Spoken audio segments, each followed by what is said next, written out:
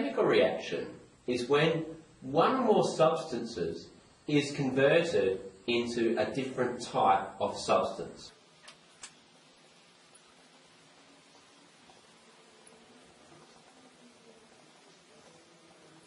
So some of the signs of a chemical reaction might be that there's a change. This triangle here means change.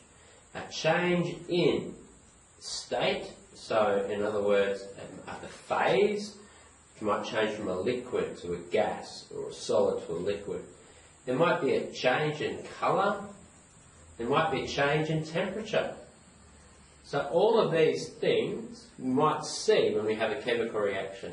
But importantly, new substances are produced. Because ultimately that's what a chemical reaction is, is when new substances are produced.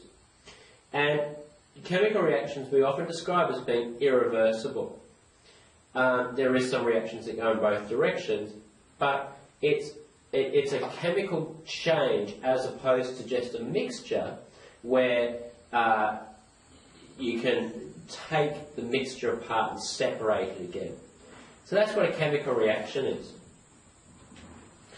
In a chemical reaction, we say that we have reactants. Reactants are one or more reactants, and they're the uh, substances that participate in the chemical reaction. And then we have an arrow, and that arrow implies the chemical reaction and also the direction of the chemical reaction. So we have reactants and we have products. Products are what are produced by the chemical reaction, and there might be one or more products. So we have a whole series of different things that might happen. So we might have one reactant giving us two products.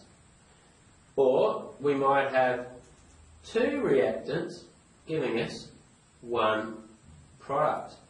Or we might have a type of reaction where the molecules actually, or the atoms in a molecule change, uh, change place. So we might have AB plus CD that has a chemical reaction where A then forms with D and B with C. All of these are different types of chemical reactions.